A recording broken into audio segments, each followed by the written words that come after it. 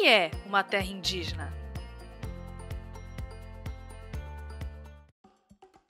Em 1988, o Brasil reconheceu que os povos indígenas foram os primeiros moradores desta terra e que, por isso, tinham direito de viver em seus territórios tradicionalmente ocupados. Esse dispositivo está previsto no parágrafo 1 do artigo 231 da Constituição Federal.